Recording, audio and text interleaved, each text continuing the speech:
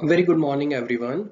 So in today's video with the help of a presentation we'll be discussing the modes and modalities of Motor Vehicle Act 2019. So if I'm talking about modes and modalities of 2019 let's discuss certain facts about MV Act 2019.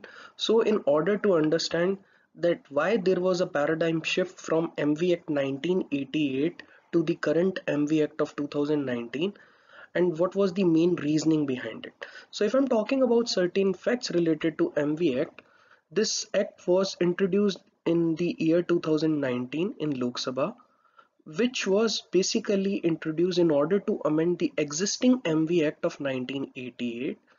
This act was enforced on 1st September 2019 and if I'm talking about the drastic change or the major change, the major change was related to two different fields. The first is heavy fines were imposed on the drivers and the second is important provisions related to third party provisions were also added. The difference between 2x cannot be fully adjudged until and unless we are not talking about the fine comparison that is fine which were mentioned under MV Act 1988 and fines which are mentioned under the current act of 2019 so now let's focus on the different fine and what was the difference between the fine earlier and the fine which is being currently prescribed under the new act or the amended act. So coming to the first point if I'm talking about drunk and drive, the earlier the fine was only 500 rupees, but now the fine for the first time offense is 10,000 rupees and for the second time offense is 15,000 rupees.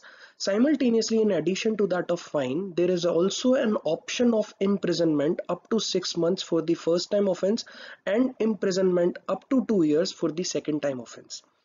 If I'm talking about driving without license, earlier the fine was only 500 rupees. Now the fine has been raised to that of 5000 rupees. If somebody is driving regardless of disqualification, the fine was only 500 rupees in the old act. Now it has been raised to that of 10,000 rupees.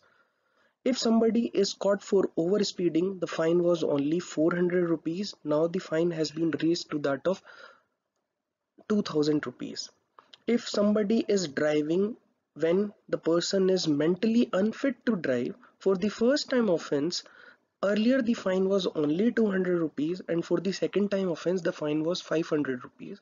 But now the fine has been increased to that of 2000 rupees for the first time offense and 4000 rupees for the second time offense. Also there is a provision added in which DL can be impounded for all those persons which are being caught for the same offense second time. As we all know that society is changing with a great speed and pace, therefore law should be made in such a manner so as to inculcate all the demands of the society.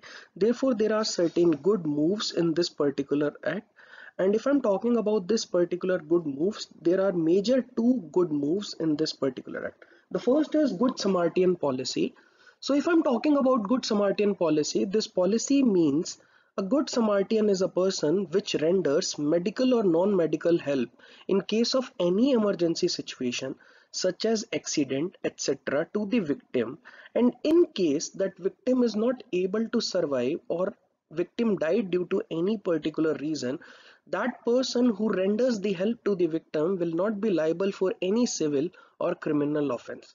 The second is the guardian will be held guilty if their juvenile ward met with an accident and they can be punished with a maximum punishment of 3 years and with a maximum fine of 25,000 rupees.